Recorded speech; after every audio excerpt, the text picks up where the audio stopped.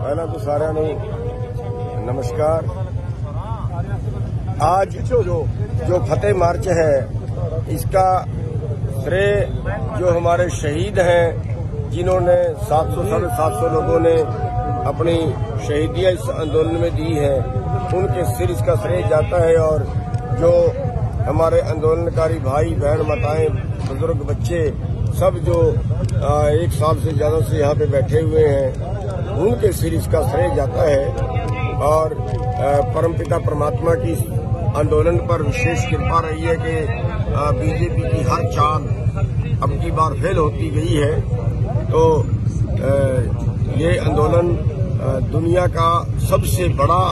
और सबसे शांतमयी आंदोलन आज तक का सिद्ध हुआ है और जिसमें दुनिया के सबसे अहंकारी प्रधानमंत्री आज के टाइम में कह सकते हैं, जिसको आखिरकार झुकना पड़ा है और जनता से माफ़ी भी मांगनी पड़ी है। तो आज हम कुंडली बॉर्डर से रवाना हो रहे हैं और रास्ते में कई दिन लगेंगे, कई जगह पड़ाव है और पंद्रह तारीख को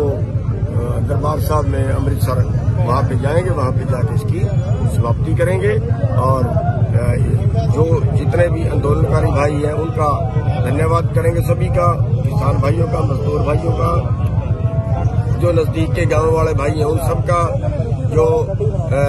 सेवादार जिन्होंने लंगर लगाए और तरह की सेवा की, एनआरआई भाई जो भी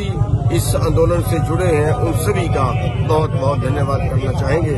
और आज यहाँ से जथा लेके जा रहे हैं और पंद्रह तारीख को हरमंदर साहब पहुंचे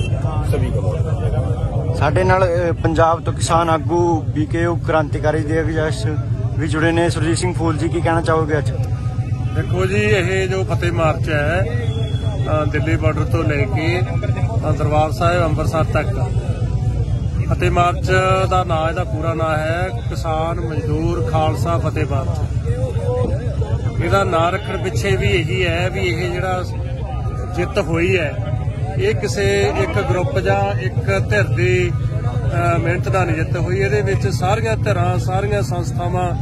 ਸਾਰੀਆਂ ਕਿਸਾਨ ਜਥੇਬੰਦੀਆਂ, ਸਾਰੀਆਂ ਹਮੈਤੀ ਜਥੇਬੰਦੀਆਂ ਜੋ ਭਾਵੇਂ ਪੰਥਕ ਜਥੇਬੰਦੀਆਂ ਨੇ, ਨੌਜਵਾਨ ਜਥੇਬੰਦੀਆਂ ਨੇ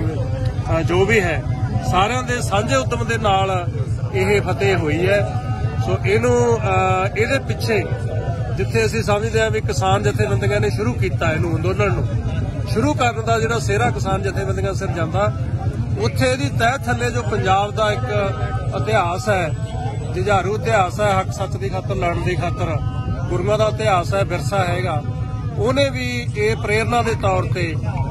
ਇਹਦੀ ਤਹਿ ਥੱਲੇ ਉਹ ਕੰਮ ਕਰਦਾ ਰਿਹਾ।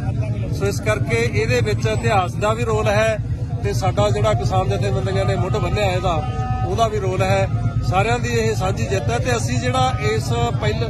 ਇਹਦੇ ਵਿੱਚ ਜਿਹੜਾ ਦੂਸਰਾ ਮਾਰਚ ਹੈ, ਕਿਉਂਕਿ ਇੱਕ ਮਾਰਚ ਪਹਿਲਾਂ ਵੀ ਤੁਰ ਚੁੱਕਿਆ,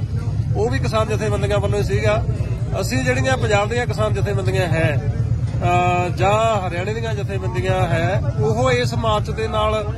ਤਾਂ ਸ਼ਾਮਲ ਹੋਈ ਆ ਵੀ ਤਾਂ ਕਿ ਇਹਦਾ ਇੱਕ ਸਾਂਝਾ ਮੈਸੇਜ ਹੈ। ਜਿਵੇਂ ਪਹਿਲਾਂ ਸਾਂਝੇ ਉਦਮ ਦੇ ਨਾਲ ਇਹਦੀ ਫਤਿਹ ਹੋਈ ਹੈ ਐਵੇਂ ਅੱਜ ਜਿਹੜੀ ਫਤਿਹ ਮਾਰਚ ਹੈ ਵੀ ਉਹਦਾ ਵੀ ਕੋਈ ਪਾਟਮਾ ਮੈਸੇਜ ਨਾ ਜਾਵੇ, ਵੀ ਕਿਸਾਨ ਜਥੇਬੰਦੀਆਂ ਅੱਡ ਹੈ, ਦੂਜੀਆਂ ਅੱਡ ਨੇ, ਇਹਦਾ ਇੱਕ ਸਾਂਝਾ ਮੈਸੇਜ ਜਾਵੇ, ਇਸ ਕਰਕੇ ਅਸੀਂ ਇਸ ਜਿਹੜਾ ਮਾਰਚ ਦੇ ਵਿੱਚ ਸ਼ਾਮਲ ਹੋਏ ਆ ਤੇ ਇਹਦਾ ਵਧੀਆ ਪ੍ਰਭਾਵ ਜਾਊਗਾ ਤੇ ਆਉਣ ਵਾਲੇ ਸਮੇਂ ਦੇ ਵਿੱਚ ਹੋਰ ਵੱਡੇ ਅੰਦੋਲਨਾਂ ਦੀ ਜਿੱਤ ਦੇ ਲਈ ਇਹ ਇੱਕ ਗਰਾਊਂਡ ਤਿਆਰ ਹੋਊਗੀ, ਇੱਕ ਆਧਾਰ ਤਿਆਰ ਹੋਊਗਾ।